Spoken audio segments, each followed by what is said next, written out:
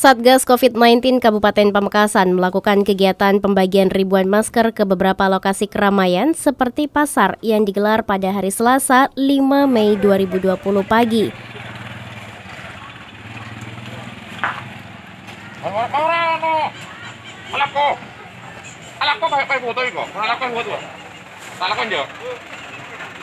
Sebelum proses pendistribusian yang digelar, kegiatan yang dipimpin oleh Satuan Koordinasi Pelaksana atau Satkorlak BPBD Pamekasan, Akmalul Firdaus, menggelar apel di posko operasi ketupat di area Monumen Aret Lancor. Tim dibagi menjadi dua kelompok yang menyebar ke dua pasar. Sebanyak 1.500 masker dibagikan di Pasar Kolpajung dan 1.000 masker di Pasar Kurem Pamekasan. Sementara siang harinya, kegiatan dilanjutkan ke Pasar Kepo pada pukul 12 waktu waktu Indonesia Barat.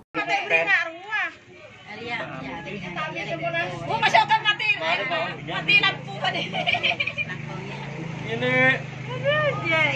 iya.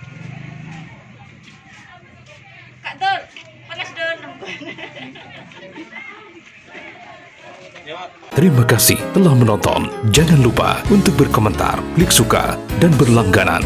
Thanks for watching. Don't forget to comment, like, and subscribe.